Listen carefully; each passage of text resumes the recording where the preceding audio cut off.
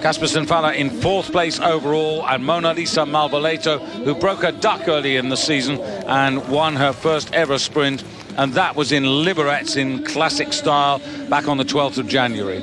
And Elena Soboleva completing the lineup here for uh, Russia. Soboleva, one of the up-and-coming youngsters in the Russian squad. A very uh, small but very strong athlete, Soboleva. So under starters orders, 1190 meters.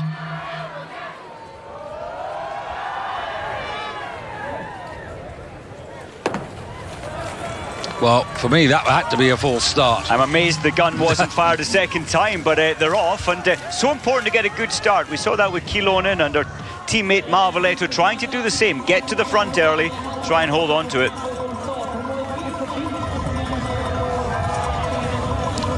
So Soboleva, who I think was responsible for the start, the, the false start, but nonetheless, unless the jury have a look at it. But uh, actually, you can't blame the athlete because they weren't recalled, so it has to stand. It has to. Uh, Marit Bjørgen at the back, uh, I thought the, this aspect or this part of it, the climb after 200 metres, I thought should be in second or third position. At the moment, at the back, looks like she's slipping, so the Norwegians have gone quite light on the wax to in order for them to have a faster glide factor. And we'll have to wait and see if that has paid off. So down they come to this turn where they literally go back on themselves. Elena Soboleva, just 21 years of age, but uh, the Sprint Classic Under-23 World Champion of this season. She won that title in January at Liberec. So uh, leading the field here and nothing to lose.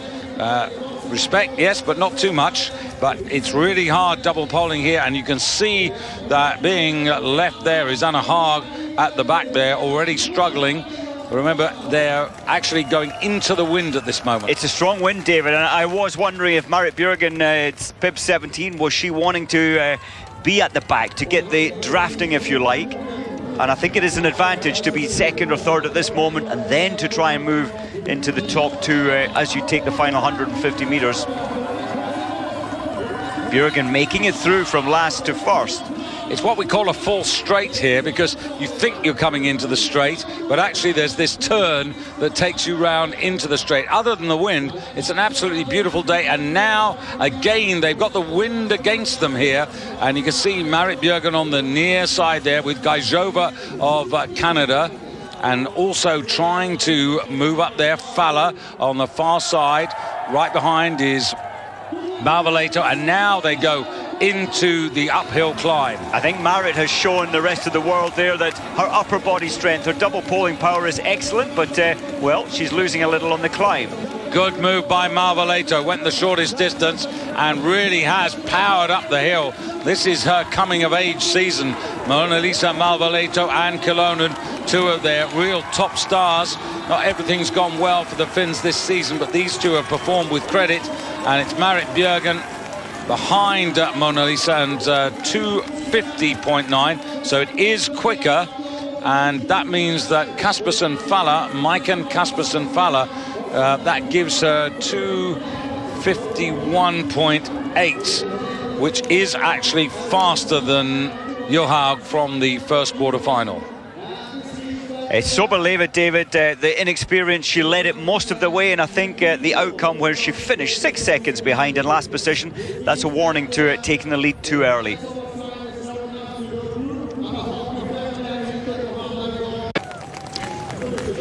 Quarterfinal number three sees uh, Justyna Kowalczyk as the fastest qualifier. Laurien van der Graaff from uh, Switzerland, who focuses on sprinting. 16, this is uh, Ingvild Flugstad Østberg for uh, Norway.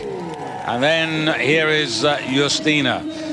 Justyna, already champion of the World Cup, has the title secured for the season. But when you actually look at her performances across the season, as you see Krista Lähteenmäki, what is remarkable is the fact that she is the second best sprinter and really underlines that she is a fantastic all-round athlete. So, Kowalczyk wears the yellow bib as the World Cup leader. And then you've got six Hanna Kolb here Lähteenmäki for Finland, Østberg for Norway, Van der Graaff for Switzerland, and Holly Brooks wearing 26 on the far side there, who we saw first in uh, happy smiling form. And that X drive in the back, just a reminder that this race also counts for the X drive points.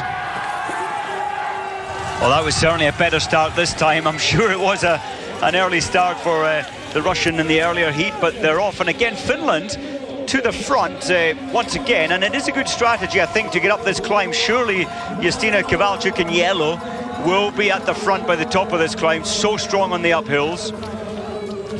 Yeah, I think uh, Justyna, the bit she's going to hate is when she gets to the top here and then you face that uh, turn, which is what, like 360 degrees, you're going round on yourself. And therefore, if she gives herself a position to go into that turn first, then she's going to be much more comfortable. And she does, as we saw in Drammen last week, David, she really does like being at the front in order to give her the space. But uh, she's clearly taken into account the strong wind she's going to encounter as she turns around this corner. And if she's at the front, it'll be hard to work for her up there. Now you can see her on the right-hand track there, so to cut the corner, she's going to have to come out of those tracks. Now, there she's allowed a couple of skating steps legally. That's right, you're allowed to, well, step step turn. You're not allowed to take it too far out of the corner. And there have been athletes uh, in the men's field disqualified for just taking a number of skating steps too far around the corner. And Justyna is inevitably best when she's dictating. Hanna Kolb there at the back of the race at the moment. Østberg for Norway in second place. Then you've got Lähteenmäki in third. Behind Lähteenmäki, Holly Brooks. Behind Holly Brooks, you've got uh, Hanna Kolb of Germany in the black and yellow.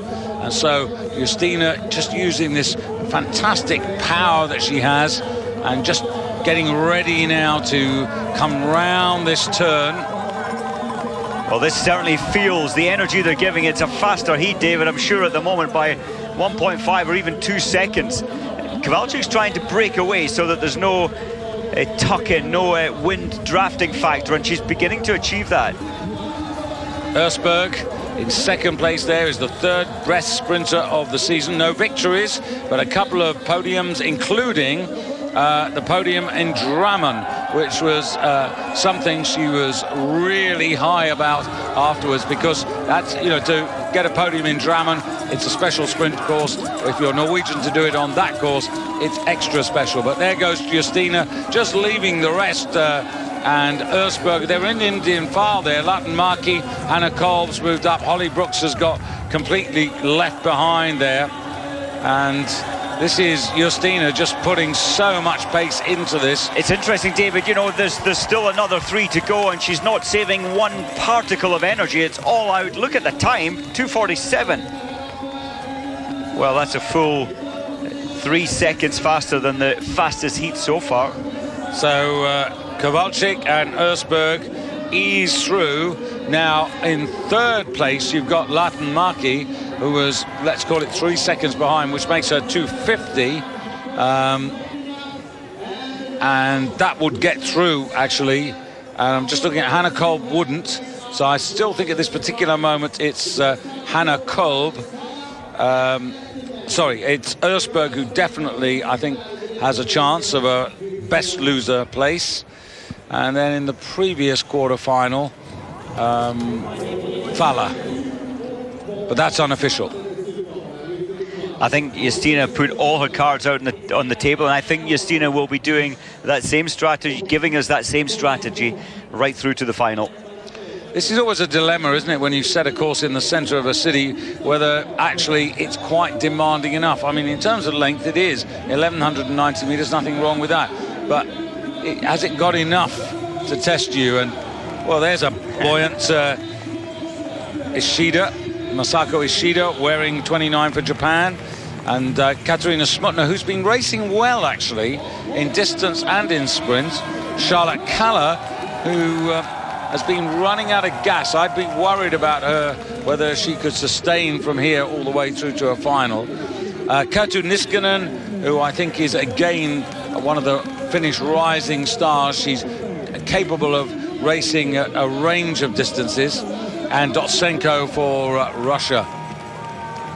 So this is a pretty interesting contest. Perhaps this is the one which is going to be hardest to fathom out at the moment. We all knew that Justyna in the previous one was going to go off. Here's Kikkan Randall. What's Kikkan going to do? If this was a freestyle sprint, I wouldn't be I wouldn't be questioning, but it's a classic sprint. it's slightly different, and of course she was nine seconds behind uh, Kyllönen's uh, time, qualifying time earlier, so you would get the feeling that Randall not ready for this, but she turns her mindset around when it comes to the gun, and she's racing alongside five others. She raises her game every time. Poised to take off.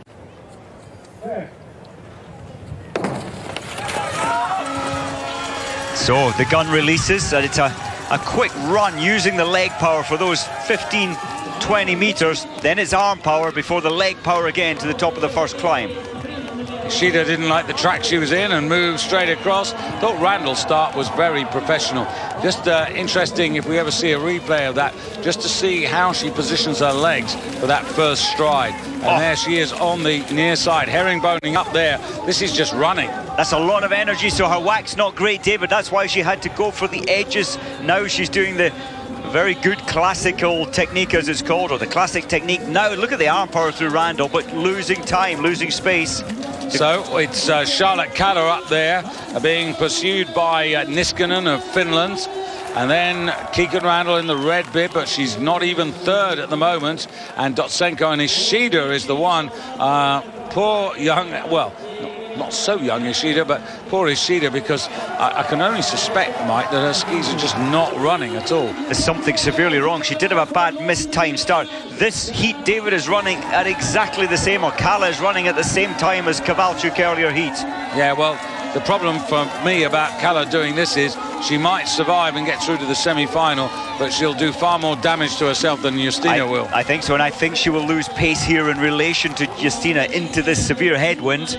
Is this her own anxiety about how difficult it is to qualify and deciding that, you know, she's got to go for broke? She's being pursued here by Dotsenko for Russia. And then right behind, you've got Niskanen for Finland. And I suppose for Kalla David, it's like the the Summer Olympics, of course, in London. It raised the game for the local, for the local athletes. She's trying to raise her game, Kalla, here at home in Stockholm. So Kalla it is now from Niskanen, then Smutna in third place, and Dotsenko dropping back there, and Kikkan Randall only fifth, and Ishida sadly out of this all too early. And now Smutna, who I said, you know, has been in really good form. Just look at that.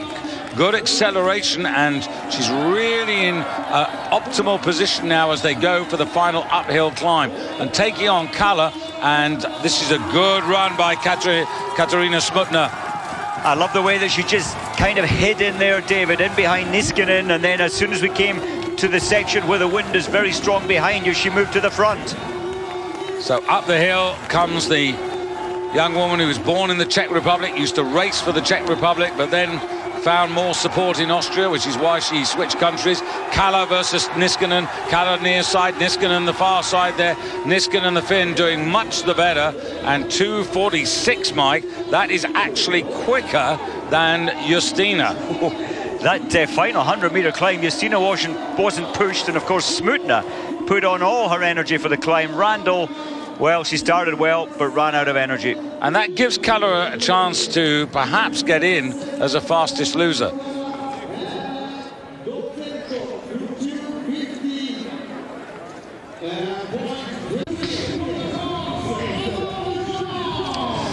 So to the last of our quarterfinals, and Orangeon looking pretty happy. Ida Ingemarsdotter for the host nation, Sweden eight, another Russian. This is Shapovalova, who's had several nearly attempts, but uh, on one or two occasions has actually fallen over. And Katja Višnar, the fastest of these six in this particular quarterfinal.